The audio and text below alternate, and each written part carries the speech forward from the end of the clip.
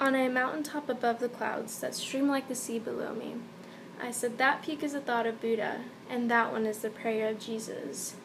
And this one is the dream of Plato, and that one there, the song of Dante.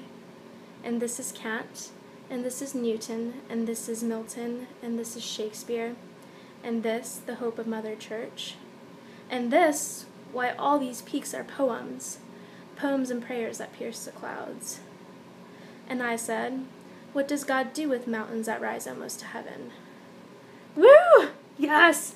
Okay, that was um, a poem, Judson Stoddard, from um, one of our textbooks for my COM 2060 course. We have to upload this, have it memorized. This is my poem. Yeah!